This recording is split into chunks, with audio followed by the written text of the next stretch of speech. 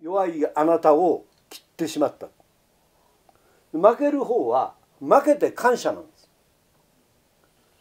あなたの期待に応えられなかった。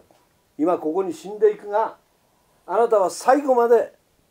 私を対等と見て勝負をしてくれた。こういうことなんです。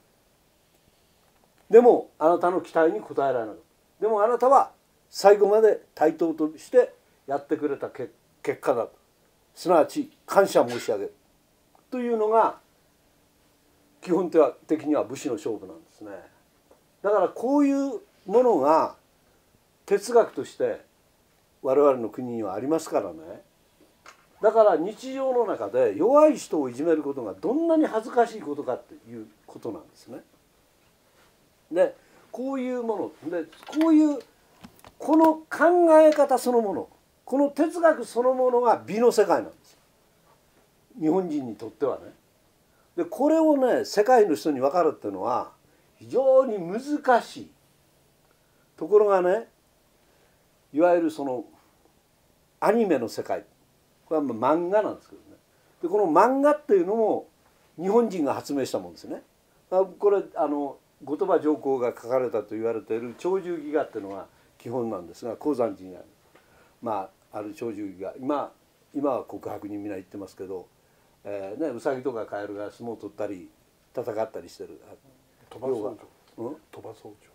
とあごめん。鳥羽僧正か。が書いた。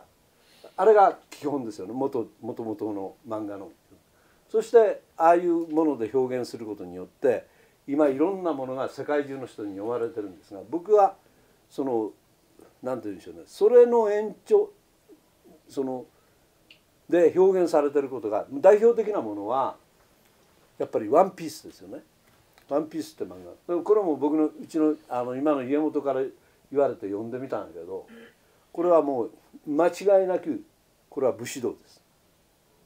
でももちろんそのいろんな他のものも皆そうでしょうその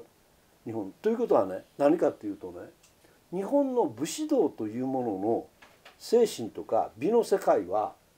世界の若い人たちがこんだけ読んでるっていうのは日本の武士道を理解するあるいはそれをその解釈できる素養が今の世界の若い人たちにあるということなんですね。だから日本人は日本のこの美の世界これを世界に向かってやっぱり堂々と主張していくことこれがねすごく大事なことのように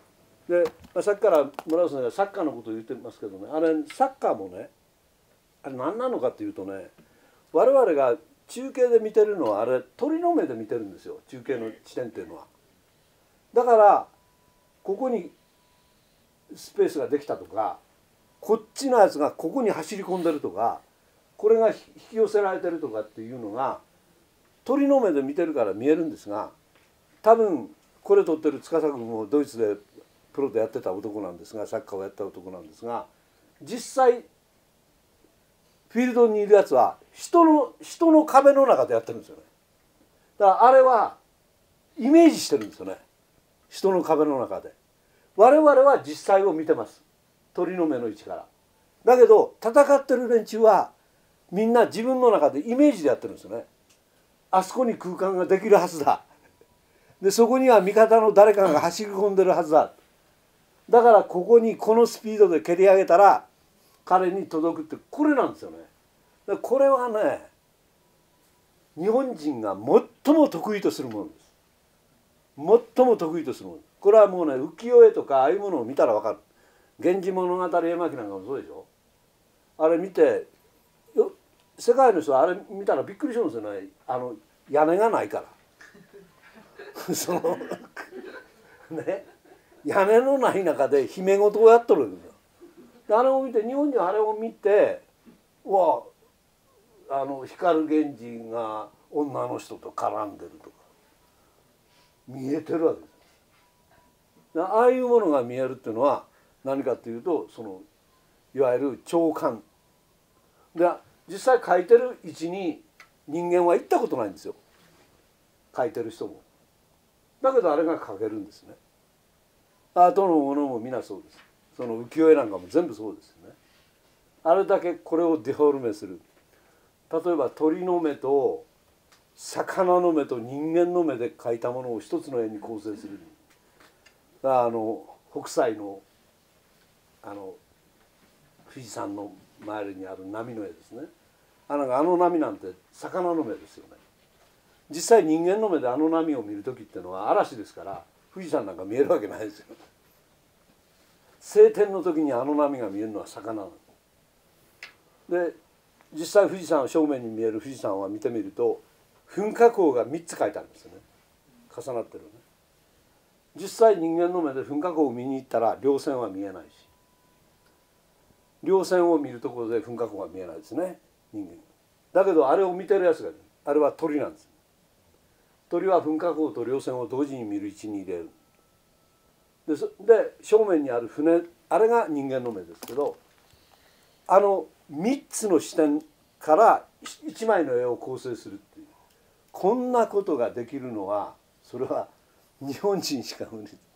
だから印象派が印象派はこのいわゆる浮世絵に影響を受けた印象派が生まれるんですけどみんな浮世絵を勉強しました、ね、でも我々から言わせれば日本の本当の絵画の世界の優秀なものっていうのはリンパとか土佐派の絵特に土佐派の絵なんかすごい絵ですからこんなものはヨーロッパには見せてあげられないですよ来てもらわないと見れないですよね。そのだからこれを見たら印象派がももっとどういう絵のあれが生まれたかと思うぐらいのものです。で日本人にとって浮世絵っていうのは三流の絵ですからそのでもこの三流の絵であれだけの影響を与えられるということがどれくらい美の世界も高い世界に日本がいるかということいやだから高い世界にいるからって威張ってるんじゃないです人としてその何？人として人に役立てる人に成長するってことの意味なんですね。